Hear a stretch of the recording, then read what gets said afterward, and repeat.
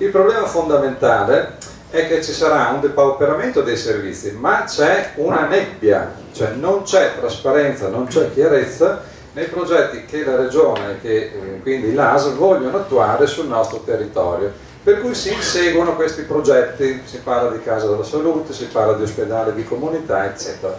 Benissimo, è vero che il sindaco ha dei poteri di influenza politica, non certo gestionale all'interno di questo meccanismo.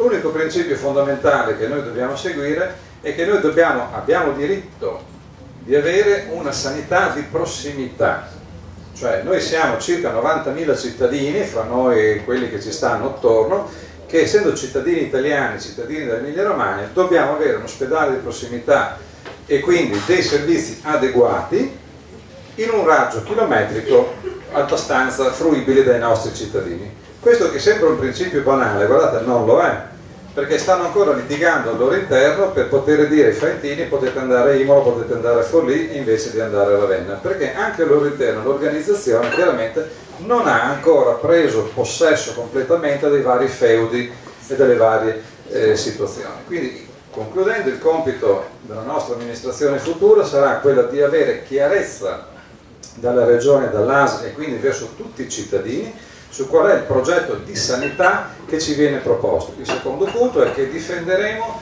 la sanità di prossimità, che sia dentro l'ospedale, l'ospedale di comunità, la casa della salute. Non ha importanza lo stemmino e il marchio, l'importante siamo noi. Area vasta cosa serve? Serve praticamente per risparmiare i costi eh, di gestione degli ospedali, ma nessuno ha mai parlato di tagliare un dirigente, non ho mai sentito parlare di tagliare un dirigente un dirigente.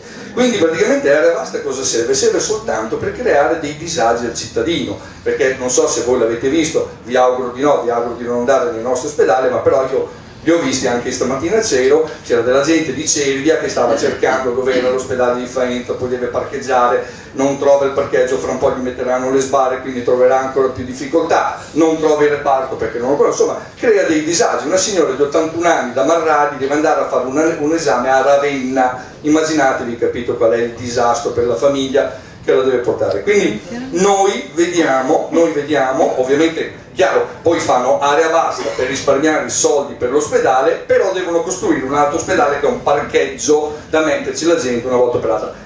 Per me è totalmente assurdo, proprio impensabile, risparmiamo, tagliamo, ma apriamo un altro ospedale dove ci metteremo? Ci metteremo i nostri parcheggiati politici e quindi vedrete da me, almeno da me e dal mio gruppo, la totale indisponenza a quest'idea. Grazie a tutti. Io a differenza di chi mi ha preceduto sono del tutto favorevole alla realizzazione di un ospedale di comunità. Innanzitutto non ci sono le idee chiare eh, su che cosa, di che cosa stiamo parlando. Casa della Salute è una struttura ben diversa, stiamo parlando di una struttura che eroga una pluralità di servizi, dai prelievi, dal eh, visite specialistiche, al centro unico prenotazioni.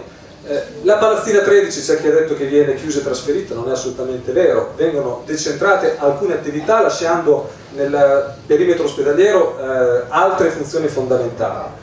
L'ospedale di comunità è una struttura che deve dare una risposta a tutti quei pazienti che eh, una volta eh, usciti dall'ospedale non sono pronti per essere eh, assistiti a casa o per andare a casa con la loro autonomia funzionale e quindi è finalizzata a, ad assicurare dimissioni protette, recupero eh, funzionale, cura della cronicità. Oggi stiamo andando in una direzione in cui nell'ospedale si eh, fornisce la cura della fase acuta, perché non so se lo sapete, ma ogni giorno di degenza ospedaliera costa all'amministrazione pubblica dai 400 ai 700 euro al giorno, perché l'intensità delle prestazioni assistenziali è particolarmente elevata, cosa diversa in una struttura come l'ospedale di comunità, che non verrebbe costruito, non stiamo parlando di muri, di pareti di, da, da realizzare, l'idea è quella di realizzarla al quarto piano del fontanone, che oggi è del tutto libero, eh, resterebbe soltanto da attrezzarlo, dovrebbe essere conferito in convenzione a, eh, può essere le stesse opere PIE, l'ASP a gestirlo, in convenzione con i medici di medicina generale, mentre l'ASA dovrebbe metterci il personale infermieristico. Come la, la realizzazione dell'azienda unica sanitaria della Romagna apre delle grandi possibilità, perché concentrando i servizi, si aprono degli spazi in questo senso. Federico Lega per Web TV.